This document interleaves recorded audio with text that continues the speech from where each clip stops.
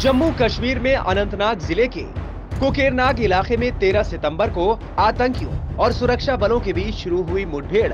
तीसरे दिन भी जारी रही। इस एनकाउंटर में सेना के कर्नल, मेजर समेत एक डीएसपी शहीद हो गए। इनमें 19 राष्ट्रीय राइफल्स यूनिट के commanding officer colonel Manpreet Singh, major Ashish Dhoncha और जम्मू कश्मीर पुलिस में डीएसपी हुमायूं भट्ट शामिल हैं।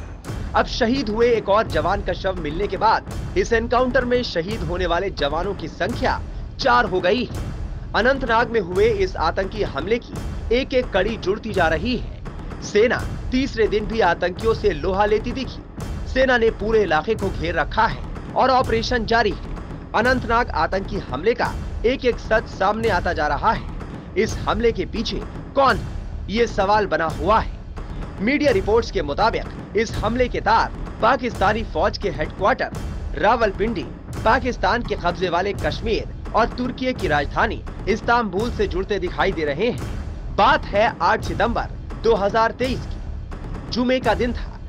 लोग पीओके के रावलकोट की मस्जिद में जुमे की नमाज़ के लिए आ जा रहे थे। इन्हीं नमाजियों में से एक था रियाज अहमद उर्फ़ अबू खासिम, लश्कर तैयबा का टॉप कमांडर ये उस दिन मस्जिद के इमाम के पास ही ठहरा हुआ था। जैसे ही रियाज अहमद नमाज़ के दौरान सजदे में झुका, वहाँ नमाजी बनकर आए कुछ अज्ञात बंदूकधारियों ने उस पर ताबड़तोड़ गोलियाँ दाग मोस्ट वांटेड आतंकी रियाज वहीं ढेर हो गया।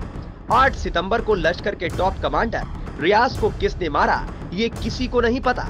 लेकिन रियाज की हत्या के बाद एक खतरनाक साजिश रची गई। जिसका अंजाम उसके चार दिन बाद अनंतनाग हमले के रूप में दिखाई दिया, जिसमें भारत के चार वीर सपूत शहीद हो गए। इस हमले की ज़िम्मेदारी टीआरएफ यानी द रेजिस्टेंस फ्रंट ने ली है। सवाल है कि क्या जिस लश्कर ने टीआरएफ को पाला पोसा, उसी लश्कर ने रियाज की मौत का बदला लेने के लिए अनंतनाग आतंकी हमले को अंजाम दिया? दरअसल रियाज मारा तो गया था पीओके में, लेकिन खलबली पाकिस्तान में मची।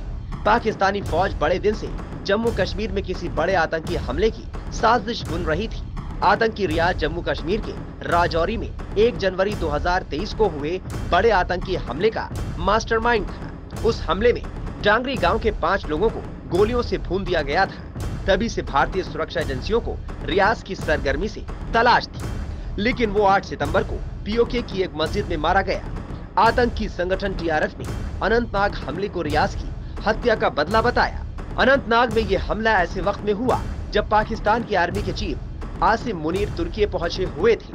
जैसे ही जनरल आसिम मुनीर ने तुर्की की राजधानी इस्तांबुल में कदम रखा, उनकी तुर्की के राष्ट्रपति अर्दवान से मुलाकात हुई।